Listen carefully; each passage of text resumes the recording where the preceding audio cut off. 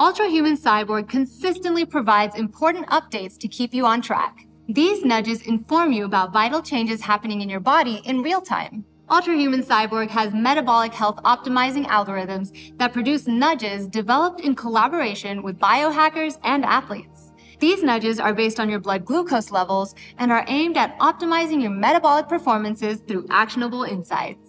Ultrahuman Cyborg notifies you if your average glucose levels have been rising over the previous three days. This could be because you're stressed or not sleeping well.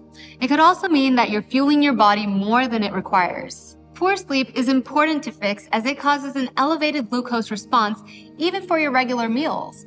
With this insight to your body, you can tweak your rest and recovery so that you're back to higher metabolic scores and optimal functioning.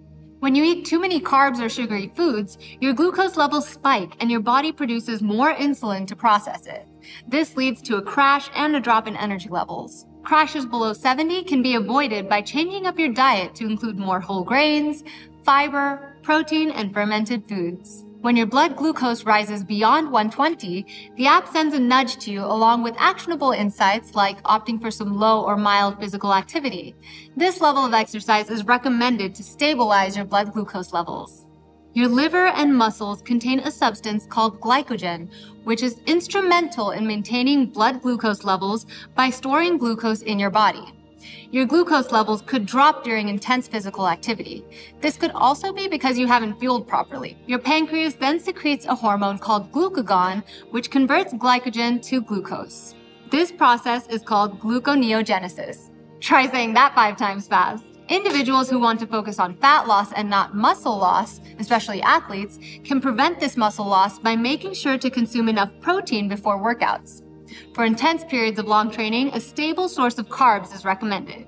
Make sure you log your food on the app as they are consumed and not all at once. Nocturnal hypoglycemia happens when your blood sugar drops below baseline during sleep.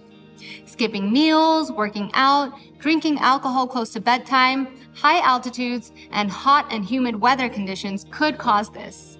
Nocturnal hypoglycemia can affect your health, especially cognition. Recurrent nocturnal hypoglycemia calls for a visit to the doctor. If you find your blood sugar levels dropping when you sleep, have light but filling dinners. Include veggies, lean protein, and fruits into your meals. If you do feel like having something sweet, just balance it out. Ultrahuman Cyborg analyzes your fueling and activity levels to suggest the best workout window. You might see improved performance and results for workouts during these hours. The timeline on the app compiles all your nudges chronologically under the Metabolism tab. These are all important events that have happened recently, like crashes, spikes, metabolic score, and oxidative stress. This helps you spot any bad patterns so that you can correct them. Make sure you scan your Ultrahuman Cyborg after all meals, in the morning, afternoon, and most importantly, right before bed. Yo!